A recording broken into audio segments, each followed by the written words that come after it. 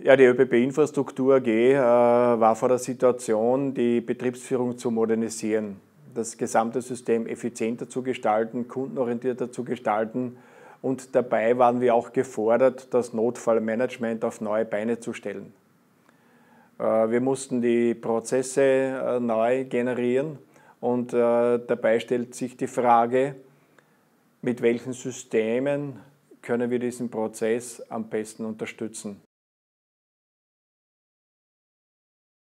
In diesem Zusammenhang waren wir auf der Suche nach verlässlichen Partnern, die uns auch äh, geeignete Systeme bereitstellen. Und da sind wir auf Frequentis gestoßen.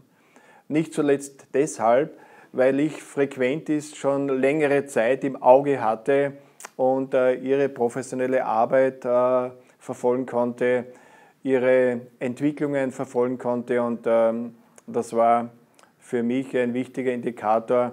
Da war für mich so viel Vertrauen da und es ist letztlich auch gelungen, Frequentis als verlässlichen Partner zu gewinnen.